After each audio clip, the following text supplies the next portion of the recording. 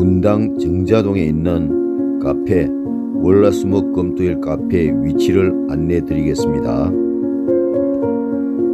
예, 정자동에 있는 월화수목금토일 카페를 소개하 위치를 안내 드리겠습니다. 현재 여기 정자역입니다. 지하철역 정자역입니다. 그리고 2번 출구로 나옵니다. 여기 2번 출구로 나오면은 여기가 현재 탄천입니다. 탄천이 어, 이렇게 서울 방향으로 흘러갑니다. 이게 그리고 여기서 2번 출구나 1번 출구로 나온 다음에 혹은 6번 출구로 나오도 됩니다. 그리고 2번 출구로 나왔다면 6번 출구 쪽으로 와서 이게 6번 출구입니다.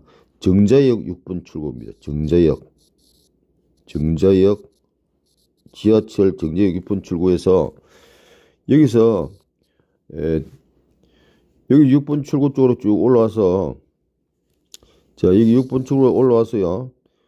에, 계속 올라갑니다. 이 이게 서울 쪽으로 가는 방향이거든요.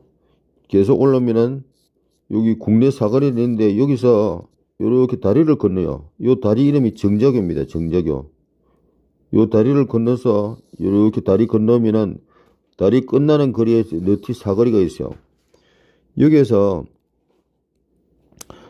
여기에서 너티 사거리에서 대각선 방향으로 이렇게 보면은 대각선 방향으로 여기 너티 사거리에서 대각선을 보내면 여기가 예, 나무가 많이 있어요. 나무 뒤쪽에 거기에 월화서목 금토일 카페가 있습니다. 간판이 조그만하게 보여요. 그래서 정자을 건너서 이렇게 건너면 됩니다. 예, 정제에서 이렇게 예, 찾아오시면 됩니다. 전체적으로 다시 보여드리면은 자 여기서 보세요. 다시 보여드리면 정자역 2번 출구나 혹은 6, 번 출구로 나와서 6번 출구로 나와서 2번에 6번 출구로 나와서 쭉 올라옵니다. 서울 방향입니다. 이게 여기 서울, 서울 쪽으로 가는 버스가 여기 있, 있어요.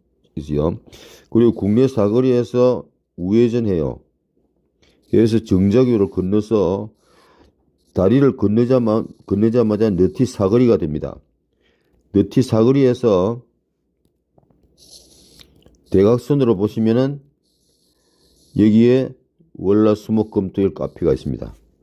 이렇게 찾아오시면 되겠습니다. 어, 월라수목금토일 카페에서 만날 것을 약속드립니다. 감사합니다.